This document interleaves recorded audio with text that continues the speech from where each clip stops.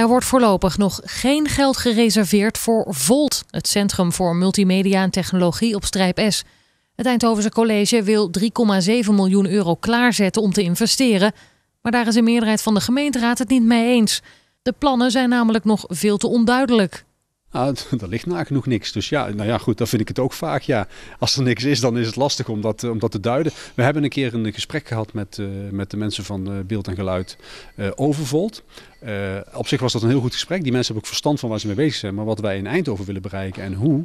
En of we daar ook weer speciaal vastgoed voor moeten gaan ontwikkelen. Ja, daar, daar hebben wij best wel vragen bij. Wat ons betreft zou echt helder besluit zijn dat je eerst besluit dat je het inderdaad wil met elkaar. En vervolgens besluit wat het je mag gaan kosten. En nu ga je wel vast reserveren en ondertussen rommel je jezelf er dus ergens in. En dat, dat vinden wij niks. Nou, we moeten binnen cultuur de afgelopen jaar heel veel bezuinigen. En ook de komende jaren ligt er nog een flinke opgave. En dan vinden wij niet dat je 3,7 miljoen apart moet gaan zetten in een meerjaren investeringsprogramma voor een plan wat, wat ons betreft volstrekt onduidelijk is wat het nou precies gaat inhouden.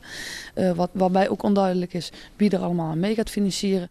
Volgens het college is het juist wel belangrijk om nu al aan te geven dat de gemeente mee wil doen om Volt op poten te zetten. En dat gebeurt door nu al geld te reserveren. De VVD is het daarmee eens. Zij vrezen dat van dit uitstel afstel zal gaan komen. Je moet het klaarzetten nu, anders kun je het straks niet uitgeven. Uh, als je het straks niet uitgeeft, kun je het wel aan iets anders uitgeven. Het is geld voor over een aantal jaren dat we zeggen van nou in dat jaar willen wij dat gaan uitgeven.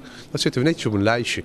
En ieder jaar besluiten we weer opnieuw of de dingen die op dat lijstje staan ook daadwerkelijk aan de beurt zijn en moeten gebeuren.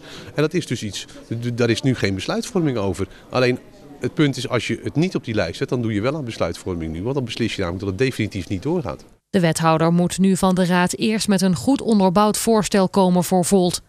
De investering voor het mediacentrum werd behandeld in het begrotingsdebat.